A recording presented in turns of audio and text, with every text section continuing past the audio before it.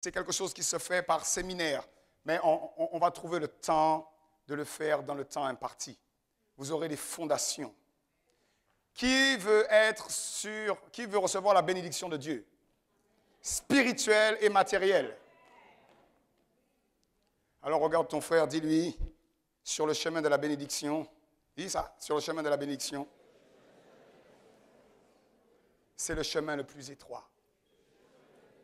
Il y a des bénédictions et il y a des fausses bénédictions.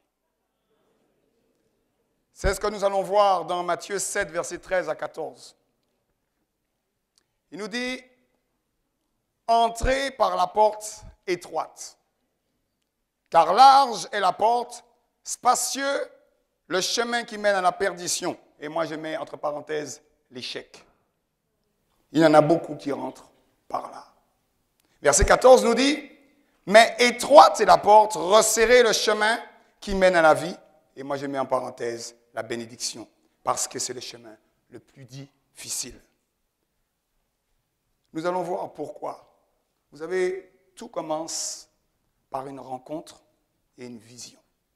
Ésaïe 53 nous dit, verset 6, sans Jésus, sans la rencontre, sans cette rencontre, nous étions tous errants. Chacun suivait sa propre voie. Certains pensent qu'ils ont une réussite.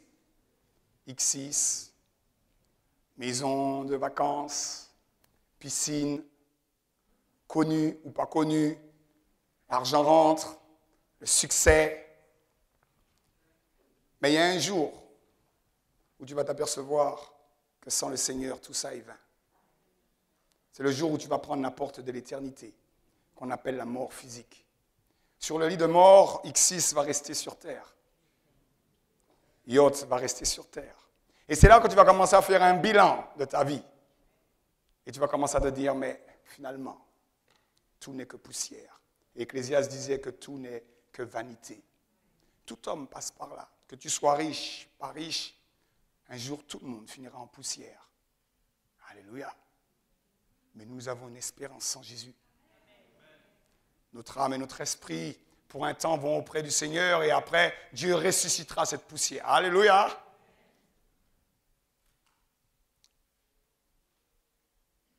La Bible nous dit dans Éphésiens 2, verset 12, que ces gens qui n'ont pas Jésus, et si tu es ici, tu n'as pas Jésus, ce n'est pas un hasard. Et si toi, tu m'écoutes sur Internet, ce n'est pas un hasard que tu es en train d'écouter.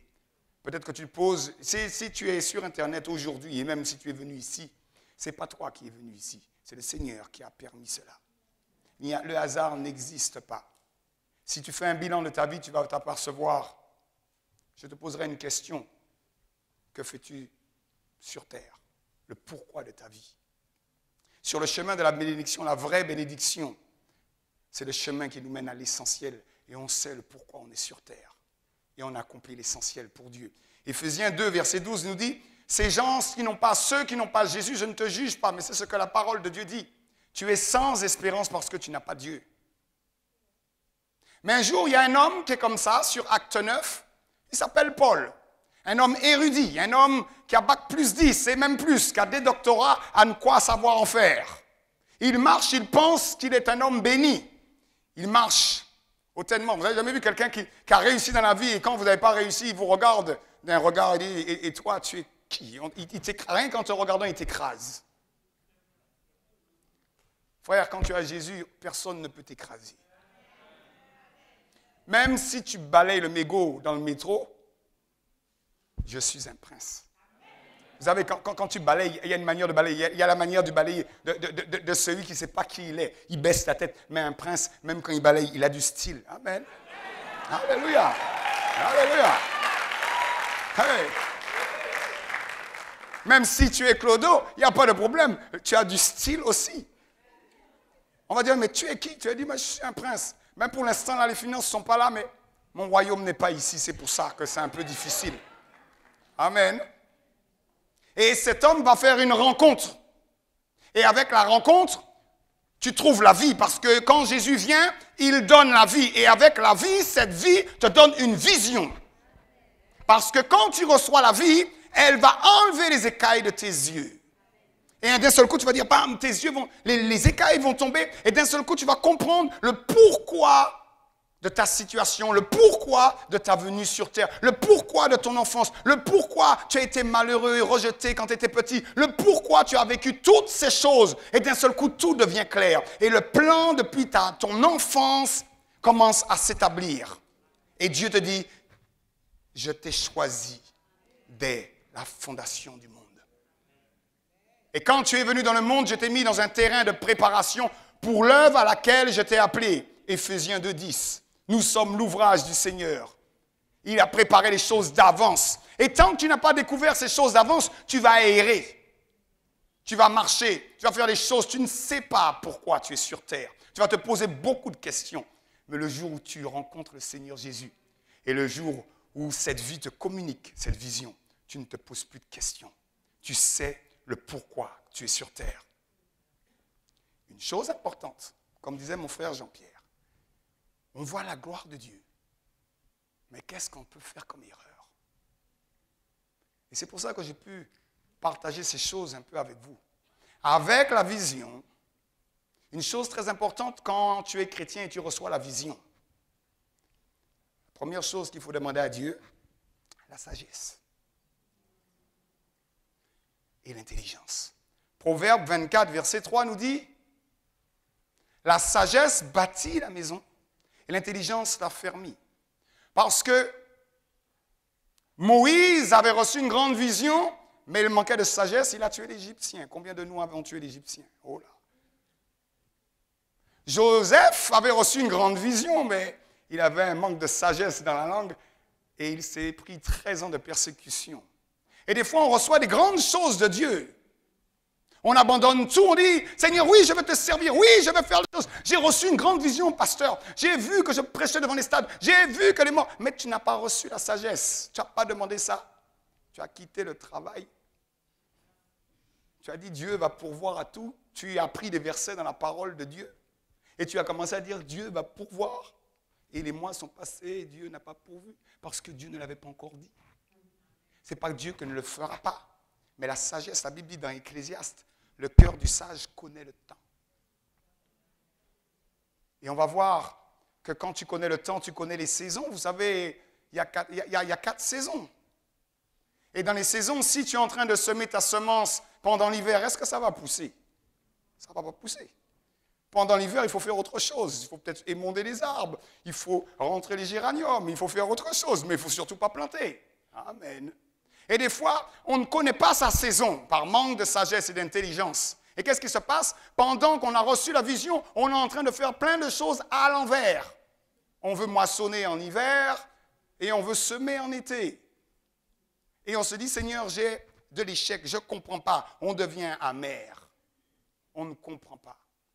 Avec la sagesse et l'intelligence, vous devez demander encore un troisième ingrédient, la patience. Vous savez pourquoi? Parce que quand le Seigneur va te préparer à la bénédiction, il faut une grande patience pour pouvoir attendre le temps de Dieu. Vous avez jamais vu les jeunes filles, les adolescentes? Elles se regardent devant le miroir, elles ont l'impression qu'elles sont devenues une femme, c'est vrai, mais elles n'ont pas encore la maturité de la femme. Elles regardent leur corps en se disant, maman, surtout maintenant, je ne sais pas ce qu'on leur donne à manger. Mais elles se comparent à maman, elles ont 13 ans, elles disent, maman, je suis déjà presque maman. maman dit, non, non, oh là,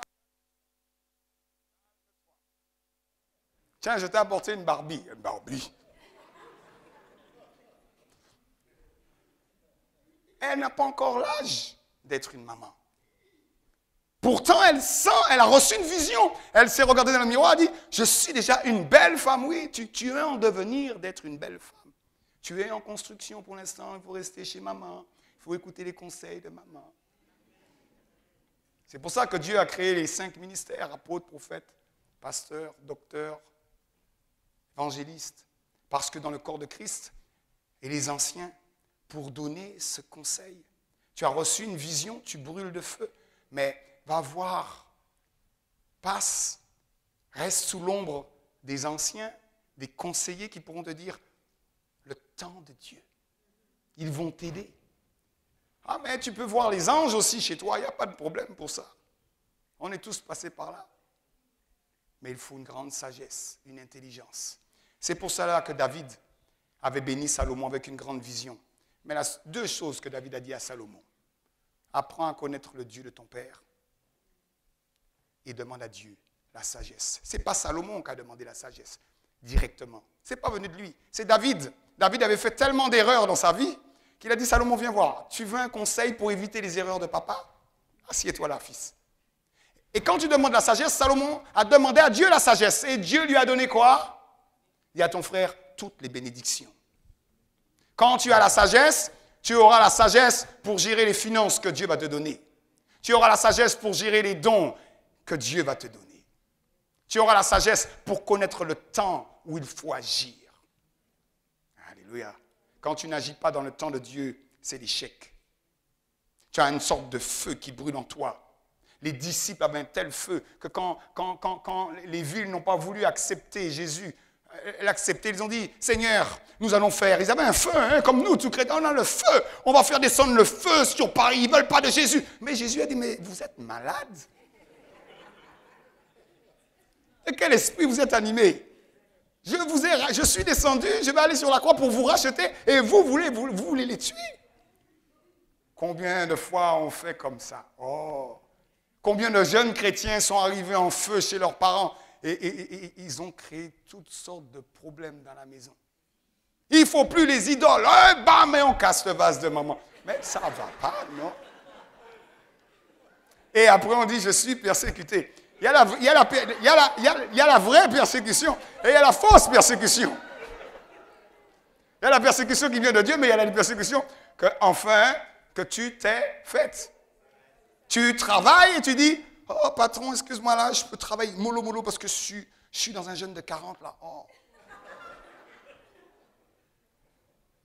Si c'est vraiment ordonné par Dieu dans son temps, même si tu fais un jeûne de 40, tu as de la vigueur.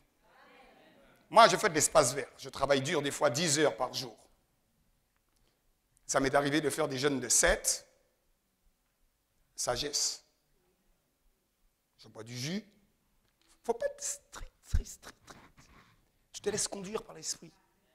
Mais pourquoi je vous dis, je fais cet exemple Tout en travaillant, Dieu me donne la force et plus les jours allaient, plus j'ai de la force et je dors. Je prie la nuit, je, je vis les choses de Dieu. Mais il y a des fois, tu as envie de jeûner et Dieu te dit non, là, il faut te reposer.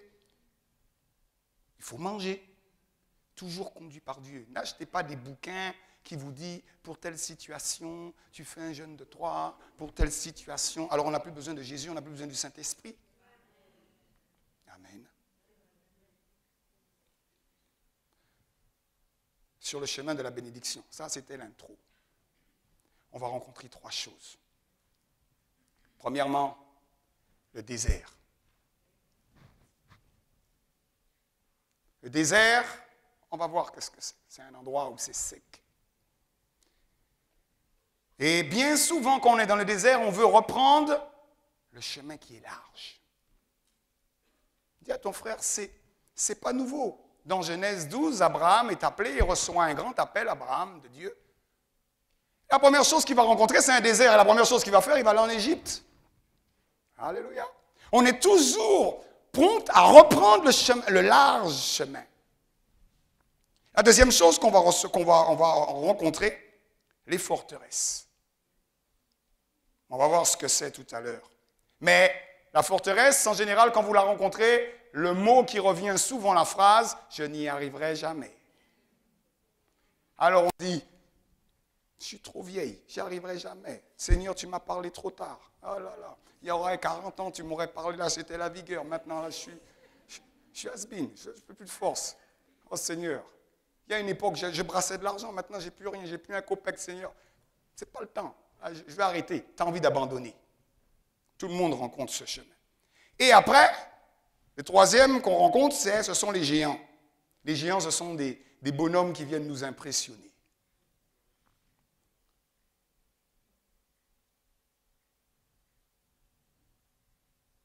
Alors la première chose qu'on va voir là maintenant, pour aller plus profondément dans ces choses, normalement c'est quelque chose que je prêche. Ces trois principes, même ces quatre principes, il y a de quoi prêcher jusqu'à. Mais on va mettre les bonnes bases. Amen. La première chose, c'est le désert. Une petite parenthèse. il existe deux sortes de déserts. Il existe le désert qui est conduit par Dieu, le désert de l'obéissance, le désert où Dieu va nous apprendre à l'écouter, on va le voir. Et il y a le désert de la désobéissance. Le désert de l'obéissance, contrairement au désert de la désobéissance, il y a des panneaux indicateurs. Et vous allez vous retrouver. Dans le désert de l'obéissance, c'est comme si je vous dis, pour aller dans tel endroit à tel endroit, vous allez rencontrer tel panneau, vous allez rencontrer tel signe. Et quand Dieu vous donne une vision et vous êtes dans le désert de l'obéissance, il y a un moment donné, tu es découragé, tu as l'impression, ça vous est jamais arrivé, quelqu'un vous invite et vous dit oui, tu prends la ruelle et à droite et à gauche. Et au bout d'un moment, tu roules, tu roules, tu roules, tu t'arrêtes la voiture, tu te dis, j'ai dû me tromper quelque part. Mais d'un ce coup, tu tournes ta tête, tu dis, ah, mais il m'avait dit qu'il y avait une cabine téléphonique.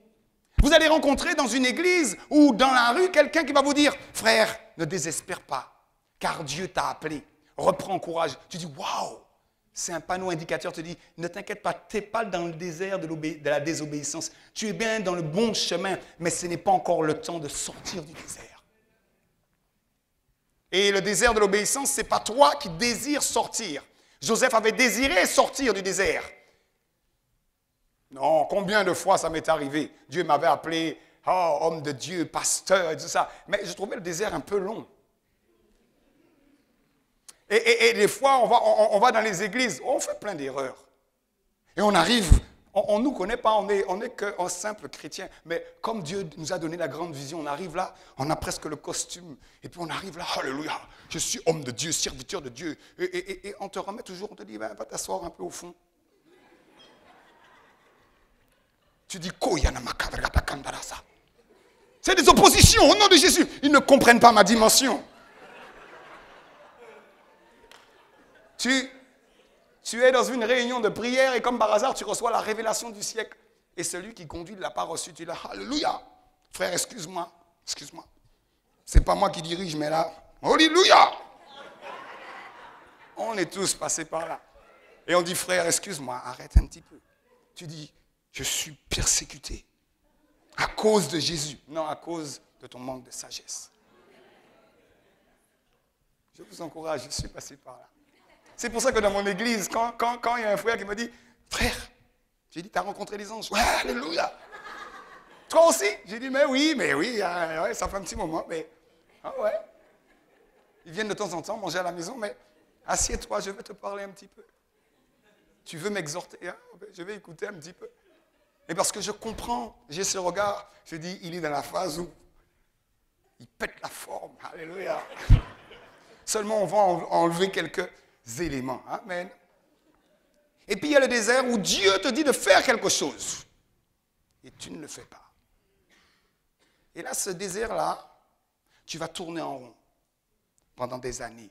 Alors il y a des frères qui me disent, mais frère, moi je tourne en rond, mais je suis béni. J'ai dit, es-tu béni? Béni tu sais ce que c'est béni? C'est quand tu as deux paires de chaussures. Oui, parce que dans le désert, tes chaussures ne s'usent pas. Tes vêtements ne s'usent pas. Mais tu n'as qu'un seul costume, frère. Alléluia. Et quand tu es béni, c'est que Dieu te donne de quoi donner à quelqu'un d'autre. Quand tu n'es pas encore béni, tu vas manger, mais quand tu as fini de manger, il n'y a plus rien. Si un frère arrive, tu dis, excuse-moi frère, il n'y a plus rien.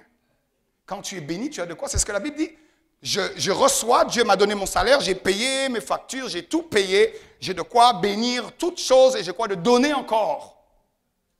Alléluia. Il gens vont dire, oh là là. Non, t'inquiète pas.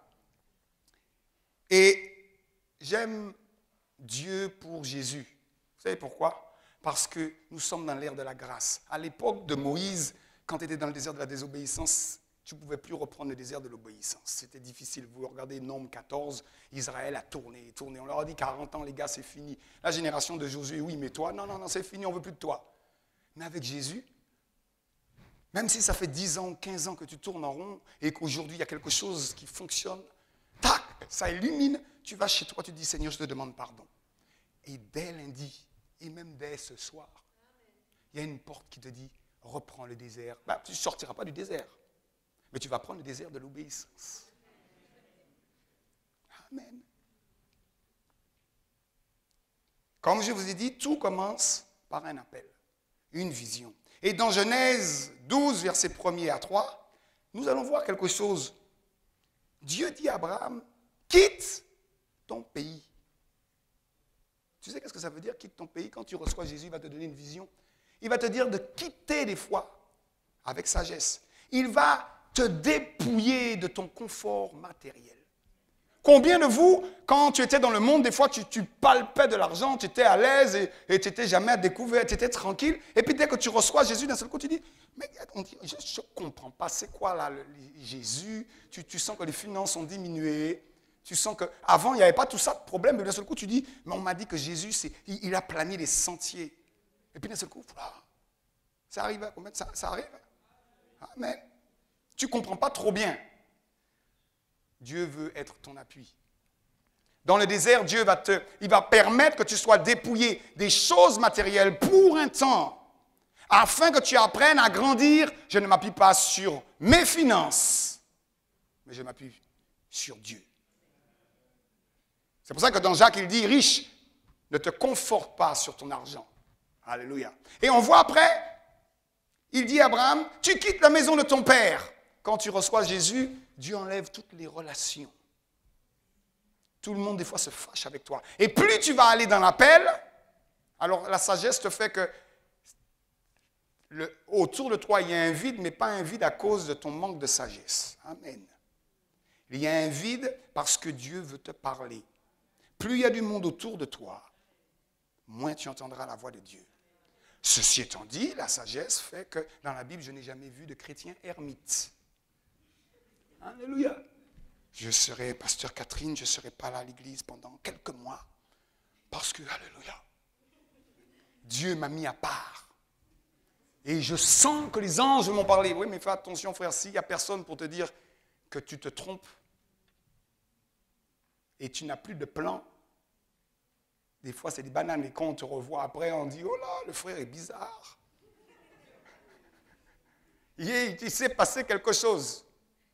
Amen. Qui, la Bible dit, veillez les uns sur les autres. Si tu es seul enfermé dans ta chambre, comment tu vas faire pour qu'on veille sur toi? Qui va pouvoir dire, moi, mon épouse, c'est ma sentinelle. Des fois, elle me voit si je suis homme de Dieu, mais si je me relâche et, je passe trop de temps devant la télé, vous croyez qu'on est, des héros, on, est toujours dans l'onction? Des fois, on se rêve, on n'a pas envie de prier, on n'a même pas envie de lire la Bible. Mais c'est normal, dis à ton frère, c'est normal. On ne se réveille pas dans la gloire. Amen, on est dans la chair. Et mon épouse est là pour veiller sur moi. Chérie, oui, il est temps un peu de prier. Chérie, oui, ça fait un moment que tu n'as pas jeûné. J'ai dit, quoi? Comment? Et on trouve toutes sortes de prétextes. Oh, c'est temps-ci, je suis un peu fatigué, c'est temps-ci. Il m'a dit, mais là, ça fait, ça fait six mois que ça fait ces temps-ci. Amen. Et dans l'Église, c'est pareil. Avec amour, on veille sur un frère. Et même mon Église veille sur moi. Si jamais je suis enflé d'orgueil parce qu'il y a du succès, on n'a jamais l'orgueil. Quand on est assis, on est toujours humble. Quand tu n'as pas d'argent, tu donnerais tout à, tout le monde. Moi, si j'avais de l'argent, je t'aurais béni, frère. Mais quand tu en as, tu n'en as pas assez. Je, je te bénirais quand j'en aurais un peu plus. Alors là, je suis en train d'épargner. Amen. Et, les choses de Dieu, c'est comme ça. Et il faut que quelqu'un veille sur toi. Amen. Donc Dieu enlève émotionnellement autour de toi. Il va faire un vide afin que tu apprennes à entendre la voix de Dieu. Le désert est là pour construire l'enfant de Dieu. Le désert est là pour, il va t'apprendre à te nourrir de la parole de Dieu. Vous savez, dans le monde, quand on vit avec les amis, on vit dans les fêtes, on vit à droite, à gauche, on est invité à droite, à gauche, on fait plein de choses on ne peut pas entendre la voix de Dieu. Amen.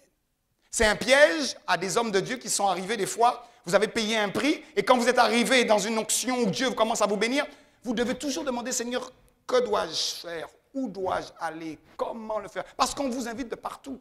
Et à un moment donné, vous perdez la vision et le cap que Dieu vous a donné. Des fois, en tant qu'homme de Dieu, vous pouvez être sur une vision d'il y a 30 ans, 10 ans, et tu penses c'est toujours sur les rails, tu, tu, parce que ça fait un moment que tu n'as pas écouté Dieu. Et Dieu va mettre sa main, t'inquiète pas, boum Tu te retrouves quelque part, tu es là, oh, le Seigneur dit, mais j'ai besoin de te parler. Amen. et il dépouille matériellement, il dépouille émotionnellement. Dis à ton frère, il ne faut pas s'inquiéter. Si tu es dans la volonté de Dieu, il ne faut pas s'inquiéter. Mais Dieu va former ton caractère. Comment tu pourrais être un homme de foi, frère, si tu as l'argent? Comment tu pourrais être un homme de la parole?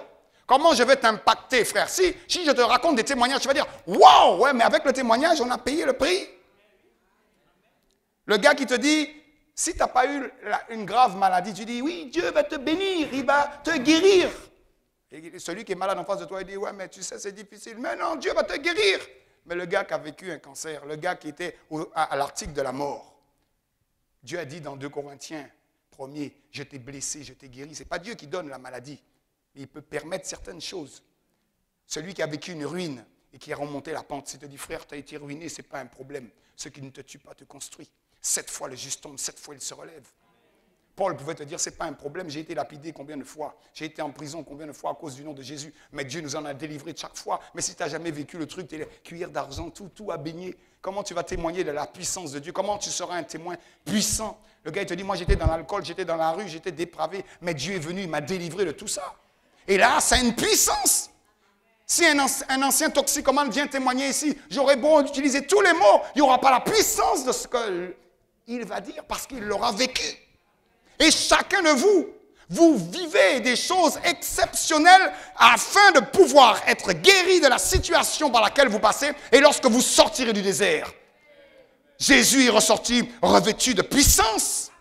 Il y a des gens qui pensent être revêtus de puissance pour guérir les malades. Tous ne guériront pas les malades. Mais peut-être que lorsque tu vas, oui, ils guériront les malades d'une autre manière. Lorsque tu sortiras de la situation dans laquelle tu passes, tu vas guérir peut-être les couples, tu vas guérir peut-être celui qui est déprimé. Tu vas guérir peut-être celui qui est oppressé. Tu vas guérir peut-être que celui qui est dans une, une dépendance.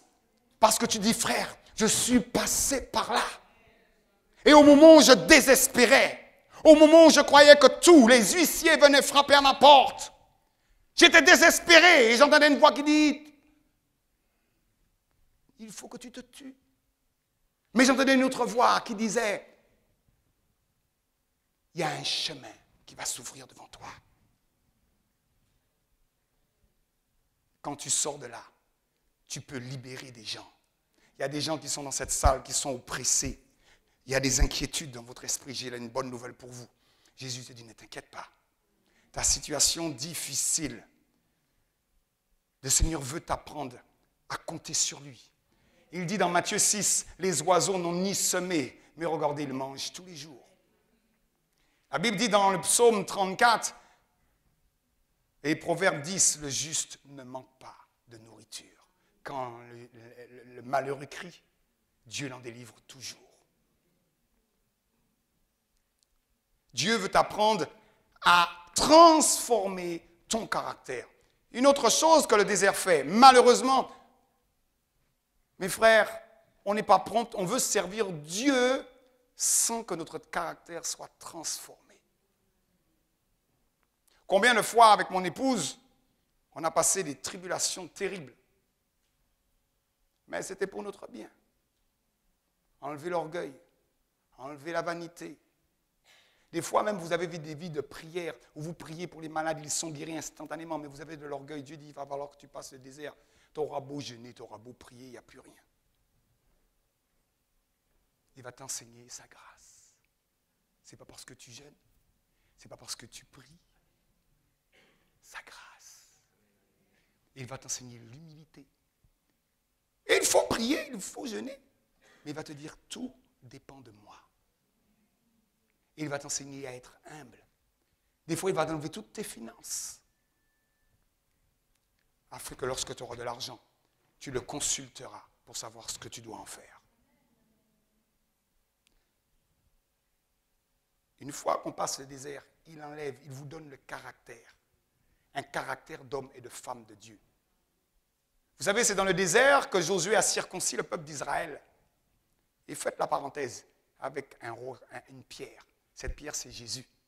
Dans Colossiens, il dit que cette pierre, ce n'est pas le couteau d'un homme. On ne circoncisait pas avec le couteau, mais avec une pierre. Ce rocher, lorsqu'il tombe, lorsque tu tombes sur lui, il t'affranchit mais lorsqu'il tombe sur toi, il t'écrase. Ça veut dire que ton caractère doit être transformé. Vous savez pourquoi? Parce que jamais tu pourras, si ton caractère n'est pas façonné, lorsque Dieu mettra l'onction sur ta vie, tu seras orgueilleux. Combien d'hommes de Dieu qu'on peut voir? Je n'en juge pas, mais Alléluia Frère, ne me touche pas, Alléluia Le caractère n'est pas façonné.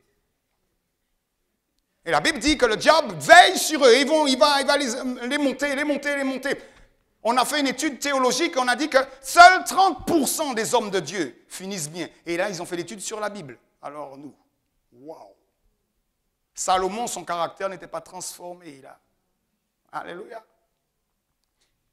Vaut mieux faire peu de choses avec un caractère transformé que de grandes choses avec un caractère qui n'est pas transformé. Tout le monde connaît. un ministère, ce n'est pas une étoile filante.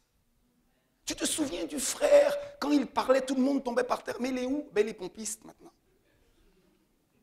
On connaît beaucoup d'histoires comme ça. Le caractère. Pendant le désert, Dieu va commencer à épurer. Il va commencer à te travailler de la tête aux pieds. Accepte. Accepte. Et une fois que Dieu t'a bien travaillé, et j'ai une bonne nouvelle aussi, les, déserts, c'est différentes saisons. Des fois, vous avez passé les déserts, les forteresses, les géants pour quelque chose. Et vous allez entamer autre chose, une autre vision. Le Seigneur dira, là, il faut un autre désert. Vous avez vu une chose, il y a le désert du chrétien qui vient d'accepter Jésus. Il y a le désert après quand tu commences à servir Dieu. Parce que Dieu est de plus en plus exigeant. Vous savez, c'est comme, comme l'or, c'est comme, c'est plus elle sera raffinée, plus le feu sera difficile. On ne peut pas demander à un jeune chrétien l'exigence qu'on va demander un homme de Dieu. Il y a certains chrétiens qui vont regarder les émissions à la télé, ça ne fera pas grand-chose. Mais un homme de Dieu, le Seigneur dit, ôte ça de cette image de tes yeux. N'écoute pas cette conversation, alors que pour un chrétien normal, bon, pour l'instant, il est jeune. Amen. Dieu fait grâce.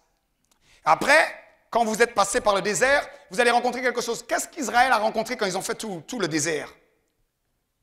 On chante cette chanson Jéricho, Jéricho, muraille la crasée, le mur est tombé. Vous savez ce que c'est quoi? Vous allez rencontrer une forteresse. La forteresse, c'est quoi? Elle n'est pas physique, elle est dans la tête. Une forteresse, c'est quelque chose qui vient vous dire tu ne pourras pas. Qui parle le chinois ici? Bon, personne. Imagine-toi que Dieu dit tu vas apprendre le chinois lundi, tu vas aller dans une. Tu dis maintenant le chinois c'est trop compliqué, c'est une forteresse je ne pourrai pas le faire. Dieu va te dire, tu vas le servir.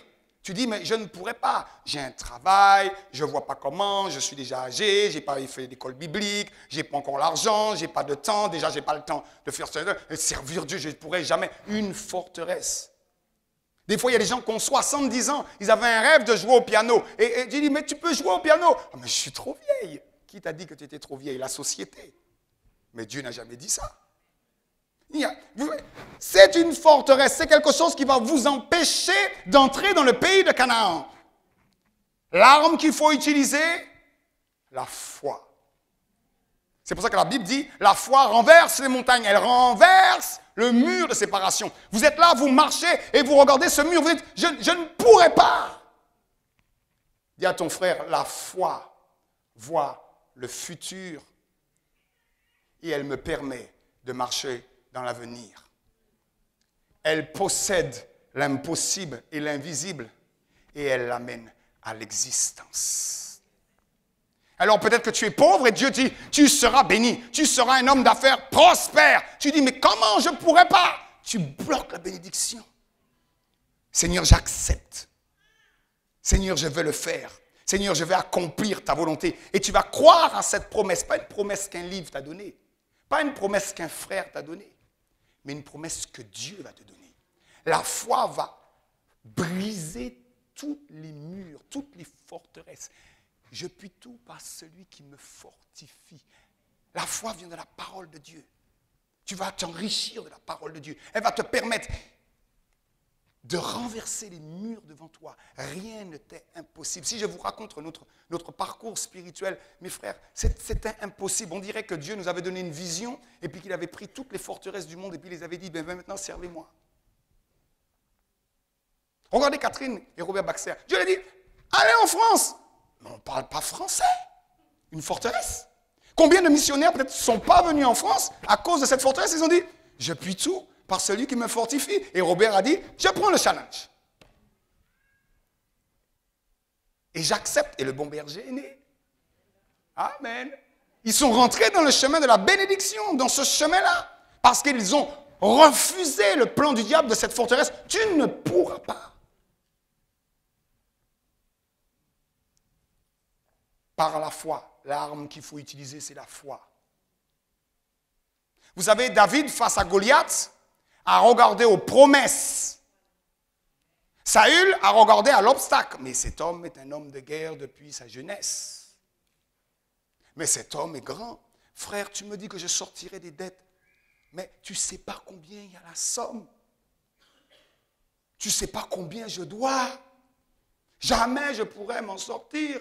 Comment, tu vas se passer l'obstacle? Tu t'imagines un gars qui fait un saut à la perche, on lui met la barre à 5 mètres 80. Jamais je pourrais sauter tout ça.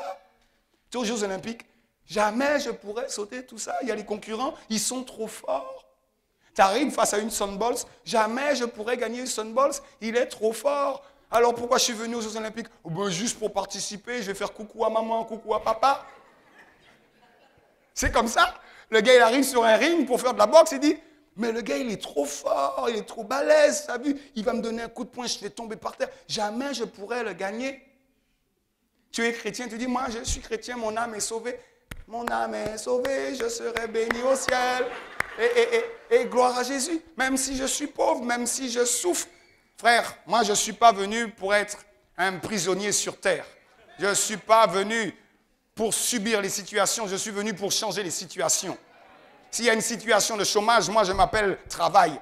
Là, là, il y a 80% de chômage. Moi, je viens, il y, aura, il y aura du boulot pour moi, il y aura du boulot pour d'autres personnes. Parce que Dieu a dit à Abraham, tu seras une source de bénédiction.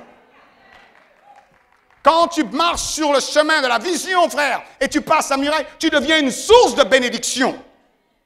Amen.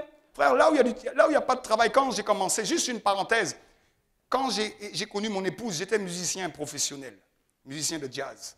Et Dieu m'a dit, non, il va falloir faire autre chose. Tu sais, la musique, c'est pas facile. Et puis, bon, le monde que tu fréquentes, hum, j'ai connu vraiment l'IBA. Et j'ai monté une entreprise d'espace vert. On m'a dit non, espace vert, il y a trop de concurrents. Frère, quand j'avais déjà deux personnes à, que j'employais, celui qui m'avait dit ça, il était toujours au chômage. Amen. Amen. Parce que Dieu avait ordonné à la bénédiction d'être là. J'avais pas d'argent, on m'a prêté un peu d'argent pour avoir une tondeuse. J'ai dit, mais l'argent va venir. Le travail avec mon épouse, on dit, Seigneur, multiplie les jardins. Et Dieu me dit, tu vas voir les dettes. J'ai dit, multiplie les jardins. Dieu, tu vas envoyer les jardins. Dieu, tu vas faire. Dieu est un Dieu puissant. À l'heure actuelle, on refuse du travail. On refuse du travail. Parce que Dieu est un Dieu merveilleux. Quand vous avez passé la forteresse, qu'est-ce que vous allez rencontrer? Les géants. Une fois que tu t'es dit, une fois que David a dit, OK, je vais, y aller, je peux battre Goliath. Eh bien, Goliath se présente à toi. Une fois que tu as dit, oui Seigneur, je vais accepter Jésus, je vais rentrer dans le ministère, je vais t'accepter. Tu as passé le désert, tu as passé les forteresses dans ta tête, tu ne pourras pas. Mais une fois que tu as dit oui, Dieu t'a donné une salle. Comme Baxter a dit, bon, Dieu nous a appelés à Paris, ils ont pris, ils ont passé la forteresse et tout. Mais les géants, c'est-à-dire, mais tu as l'argent, Tant pis, Dieu va faire. Ah ben, le géant dit non, pas de prêt, non, pas ceci, non, pas de salle, non. Il va falloir combattre géant après géant. Mais Dieu a dit une promesse à Josué. Josué 1.3. Tout sol que mes pieds fouleront, je le posséderai. Toute promesse que Dieu m'a donnée et que mes pieds iront dessus, je le posséderai. Frère, si Dieu m'a dit qu'il va me bénir dans cet endroit, Dieu va, je vais combattre les géants. Je vais les combattre. Pas avec des, pas avec des, méthodes, mais avec la conduite par l'esprit. Josué a combattu les géants. Mais Dieu lui a dit, je ne fais pas tomber tous les géants en même temps. Regardez bien dans nombre. Au fur et à mesure, tous ne vont pas tomber. Tu vas rencontrer des géants sur ta vie matérielle, tu vas rencontrer des géants dans ta vie spirituelle. Des gens qui vont se lever pour t'empêcher d'avancer. Amen. Dans le monde du travail, tu vas rencontrer des géants. Tu as été béni. Oh, j'ai reçu un super travail. Je suis béni. Le géant, c'est la jalousie, c'est les combats, c'est les mauvais dossiers, c'est les choses comme ça. Tu dis, mais, et, tu vas prendre, le diable va te dire, mais Dieu a dit, n'a-t-il pas dit dans sa parole La bénédiction de l'Éternel ne se fait suivre d'aucun chagrin. Ce n'est pas un chagrin, c'est un géant qu'il faut combattre. Il ne faut pas confondre. Mais comme tu as fait le désert, dans le désert, tu as appris à utiliser les armes. Jésus a dit, arrière de moi, Satan. Tu vas dire, Satan, alléluia, arrière de moi. Tu dis, Seigneur, la personne là qui me persécute, là, qu'est-ce qu'il faut faire? Dieu va te dire. Alors des fois, on est tellement spirituel. Alléluia, un, jeune, un jeune, non, tu vas lui acheter un petit gâteau, il aime les gâteaux au chocolat. Tu vas lui amener un gâteau au chocolat tous les matins avec un petit café. Et tu feras sauter ce géant. Amen. Conduit par l'Esprit. Dieu avait dit à David, de combattre le géant avec cinq pierres. Dieu avait dit à Josué pour faire sauter la forteresse, mais pour rencontrer les géants, vous allez marcher autour d'une forteresse. Faites le tour du château de Versailles pendant sept jours. Louez à l'éternel, louez. Je ne sais pas s'il y a beaucoup de leaders qui vous suivront. Amen. On dit, le gars, il est malade. La Bible dit que la, la puissance de Dieu, la folie de la prédication est une folie pour ceux qui périssent. Tu as quoi? Tu, as, tu, as, tu vas donner quoi? Un gâteau à ce gars-là Mais il est malade mais peut-être que personne ne lui a jamais offert un gâteau. Et pendant que tu vas lui être, pendant que tu vas lui donner l'amour, ah, il va se fâcher. Plus il va se fâcher, plus tu vas tendre l'eau du jour. Cet amour va pénétrer sa vie. Elle va pénétrer les forteresses depuis son enfance parce que cet homme n'a jamais reçu d'amour. Et parce que l'amour de Jésus qui est en toi, la vie de Jésus qui est en toi, va commencer à toucher l'atmosphère. Elle va commencer à bouger son atmosphère. Alors, il va s'énerver de plus en plus, de plus en plus. Ça veut dire, c'est bon, tu es en train de bouger son terrain. Et au fur et à mesure, la parole de l'amour va commencer à secouer ses têtes. Et un jour, il va rentrer dans le bureau, il va pleurer. Il m'a dit, jamais on m'a aimé comme ça. Je t'ai fait du mal et tu m'as aimé. Qui es-tu? Tu dis, je suis l'ami de Jésus. Alléluia. Les géants que vous allez rencontrer, ce sont toutes sortes. Ils vont se dresser contre vous. Mais toujours une loi. Écoutez l'Esprit. Écoutez le Saint-Esprit. Combien de géants on a rencontrés? Il y a des fois des géants de dette. Alors le Seigneur va vous donner la force. Des fois, de faire plusieurs travails. Je vous donne des solutions. Vous savez, des fois, on est trop... On va dire, je veux faire un jeûne de 7 et Dieu peut-être va susciter un frère dans l'église qui a touché un héritage et les 30 000 euros que je dois vont, s'épurer. Peut-être qu'en priant, je vais marcher sur le bord de la Seine, et puis un gars va oublier une mallette, et puis, et puis voilà, et puis peut-être qu'en marchant vers le loto, bien que je ne joue pas au loto, bien que j'ai mis ma main comme ça parce que les dettes m'ont dit, si tu joues au loto, mais, non, ce n'est pas de Dieu, et peut-être que celui qui avait gagné au loto me donnera un petit peu, Ça n'est jamais arrivé de vouloir sortir de la situation. Tu vas voir un frère, et tu ne pourrais pas, il a de l'argent, tu sais qu'il a de l'argent, il dit, il dit non. Et quand tu rentres chez toi, tu as de l'amertume, il n'y a pas d'amour. Dis à ton frère, ça m'est arrivé aussi. J'ai dit, il n'y a pas d'amour, mais le Seigneur m'a dit, s'il y a de l'amour, mais je veux que tu, tu apprennes à t'appuyer sur moi et non sur les autres. Il m'a dit, est-ce que je t'ai donné la direction d'aller demander à quelqu'un? J'ai dit, non. Eh bien, il m'a dit, mais reste dans le désert, mon frère. Amen. Vous savez, dans, mon métier, je ne faisais pas d'élagage. Et un jour, on devait partir en voyage et, j'avais juste le billet d'avion pour moi et pas pour mon épouse. Et, et, je marche toujours avec ma femme. Alléluia. On brise les esprits de séduction. Alléluia. Amen. Oh, pasteur, il faut que je te voie. Ben, chérie, si tu pouvais venir un petit peu. Alléluia. Tant qu'il est possible. Et je vais vous dire une chose. Alors, je n'avais pas le billet d'avion pour mon épouse. Et j'ai dit, Seigneur, donne-moi le billet d'avion, donne-moi le billet. Seigneur, fais un miracle. Et puis quelqu'un vient me voir et me dit, il y a un gros arbre. C'était un géant. J'ai regardé ça, j'ai dit, waouh. Malheureusement, la forteresse est venue tout de suite. Mais tu n'as jamais fait d'élagage. Il ne faut pas faire ça. C'est dangereux. Tu peux mourir. C'était juste l'argent du billet. Et je n'ai pas accepté. Amen. Mais après, Dieu m'a dit, la sagesse est venue. Il m'a dit, peut-être que tu ne sais pas faire des lagages, mais c'est toi qui as le marché. Alors je vais te donner un contact d'un homme qui est habile à faire des lagages, et vous allez négocier le prix. Tu toucheras le prix du billet, Et lui touchera sa part. Et tu seras sécurisé. Parce que des fois qu'on est zélé, on dit, ouais, mais Dieu, même si je n'ai pas fait de lagage, Dieu va me donner l'onction pour ça. Et puis tu finis à l'hôpital. Amen. Et tu dit, oh Jésus, Jésus. Mais Jésus dit, mais qu'est-ce qu'il fait dans l'arbre? Tu n'as pas demandé à Dieu. La sagesse, c'est que tu vas chercher quelqu'un, même à Pôle emploi, qui sait faire les lagages, qui est diplômé, qui a su faire le travail, et tu l'envoies là-haut. Amen. Et s'il tombe, eh bien, tu recommences, en prends un autre. Alléluia. Alléluia. Donc tu as battu la forteresse, et après tu vas combattre le géant qui est l'arbre. Et une fois que tu auras combattu le géant qui était sur le la bénédiction, tu as ton billet. Amen. Après, il y a un autre géant. As-tu l'argent pour l'hôtel Ben, ça, on va trouver l'autre géant. Et vous voyez, c'est comme ça dans la vie. C'est, des fois, on veut chercher des méthodes tellement spirituelles. Mais Dieu dit, mais mes enfants, dans Thessaloniciens 5, il dit, vous êtes corps, âme et esprit. Et je parle tantôt d'une manière, tantôt d'une autre. Et on est tellement céleste qu'on pense que les anges vont venir avec un mandat. C'est bien de toi. Eh bien, j'ai vu ta prière. Alors, tu as le droit au ticket de... Oh. Non. Vous savez, pour finir, on a plein de choses à dire, mais c'était des bases.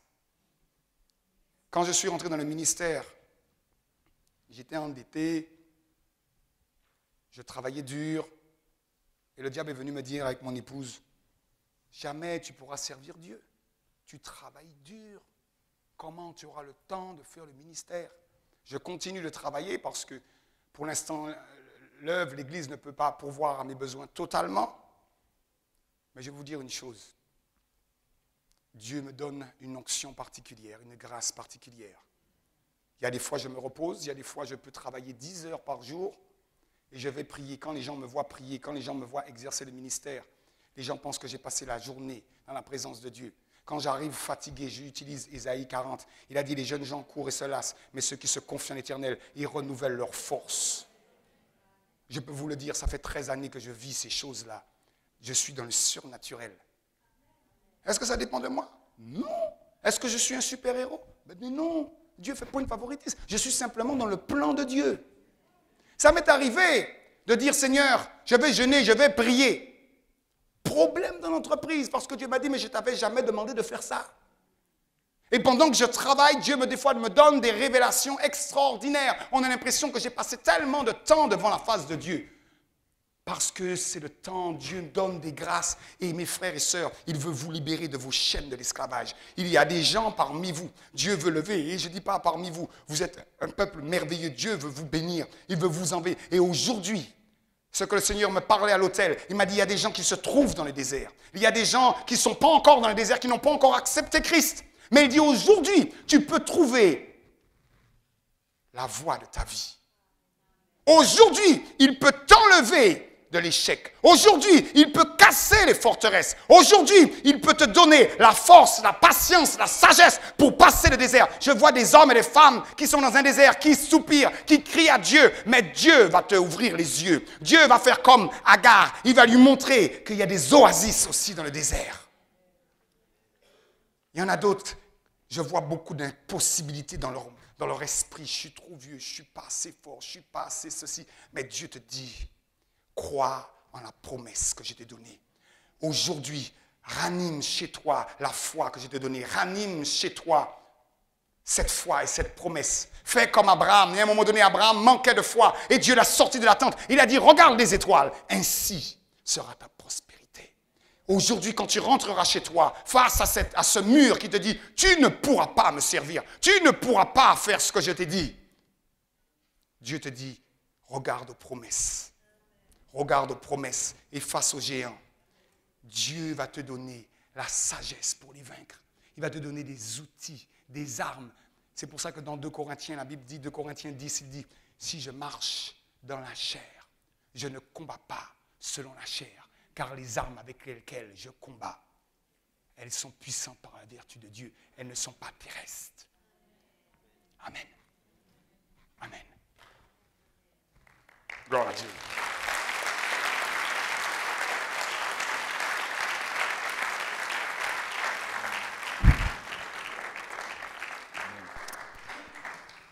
Alléluia. Va se lever dans la présence de Dieu. Merci beaucoup, Pasteur Pascal. Vous avez été bénis? Amen. Vous savez, dans notre Église, on a une, tradition, surtout pour les personnes qui euh, viennent euh, euh, investir dans notre vie, de ne pas les laisser repartir à vide. Amen. On a reçu d'une bénédiction spirituelle, on veut semer aussi dans une, offrande d'amour dans le ministère de Pascal et Francine. Donc pendant qu'on va adorer le Seigneur, il y a des corbeilles à offrande qui vont passer. Demandez au Seigneur comment vous pouvez les bénir de la même façon que vous avez été bénis. Amen. Gloire à Dieu. On va se lever, on va adorer Dieu avec nos chants, avec notre adoration, avec notre cœur et aussi avec notre forme d'amour ce matin. Amen. Alléluia.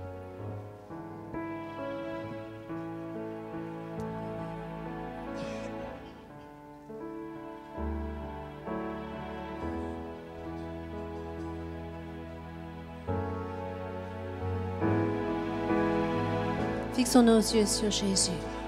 Ouvrons nos cœurs. Laissons-le fortifier ce matin notre révélation de son plan et notre foi.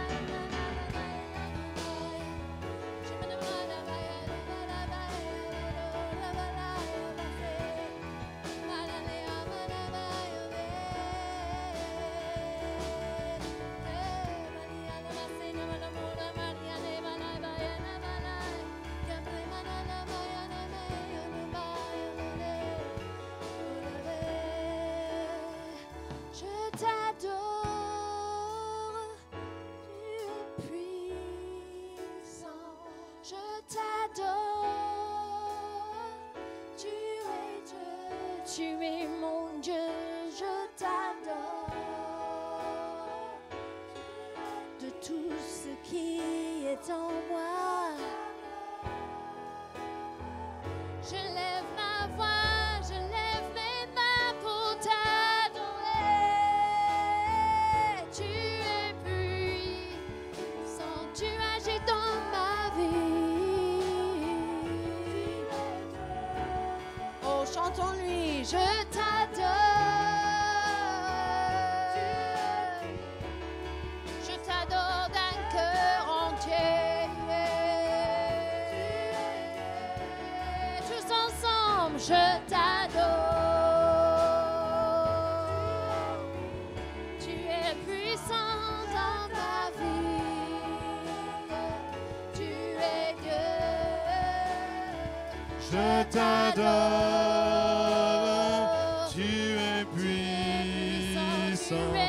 Je t'adore, tu es.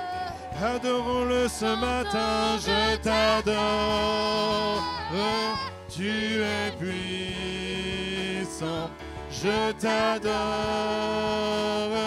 Tu es Dieu, je t'adore. Tu es puissant, je t'adore.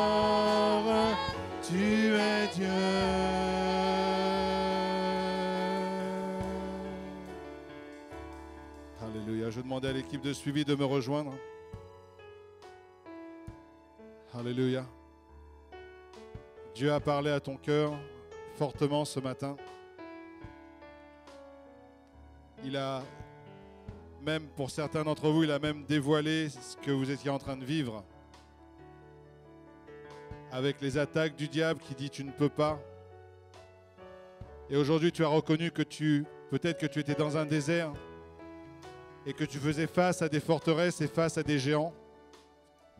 Et aujourd'hui, tu décides de vaincre ces géants et de vaincre ces forteresses. Amen.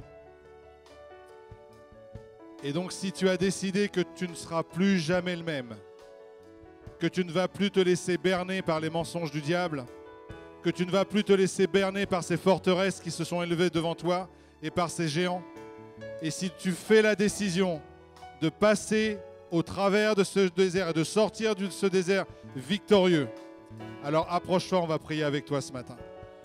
Amen. Tu dis aujourd'hui j'en ai assez. Aujourd'hui ça suffit. Aujourd'hui c'est mon jour. Aujourd'hui je vais couper la tête de ce Goliath. Aujourd'hui cette forteresse qui est dans ma tête qui me dit je ne peux pas va tomber aujourd'hui. Amen. Donc approche-toi, on va prier avec toi ce matin. Et on va continuer à adorer le Seigneur. Amen.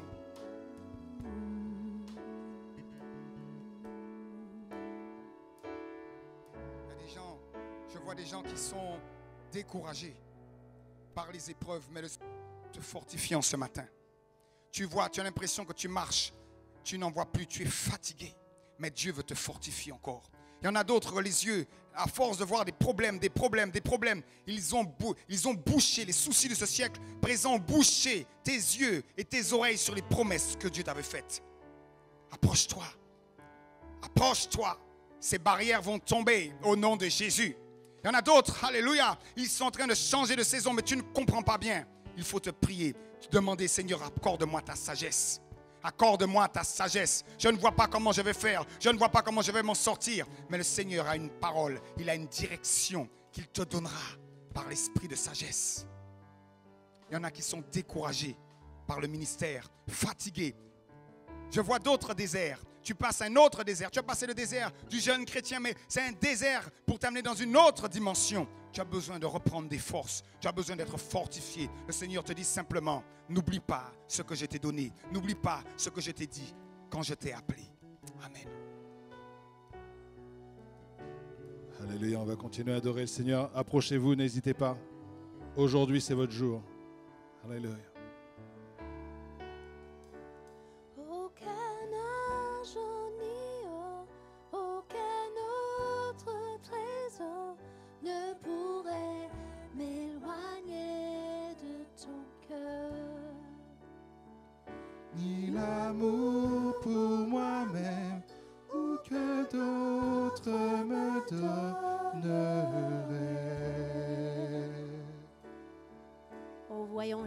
Ce matin. Aucun argent, Aucun argent ni or, aucun autre trésor ne pourrait m'éloigner de ton cœur. Ni l'amour pour moi-même ou que d'autres me donneraient. adorons Jésus. Jésus, rien n'est semblable à ta grâce qui m'a sauvé. Merci Seigneur mon Dieu. Sauveur,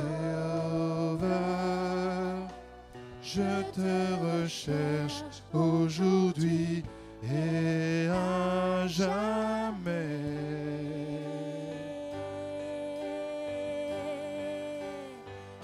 Que je suis, tel que je suis, je viens à tes pieds. Humblement, je me tiens devant ta majesté. En toi, je sais que j'ai tout trouvé dans ton amour sans fin, dans ton amour sans fin. Tel que je suis, je viens à tes pieds. Humblement je me tiens devant ta majesté. En toi je sais que j'ai tout trouvé dans ton amour sans fin, dans ton amour sans fin.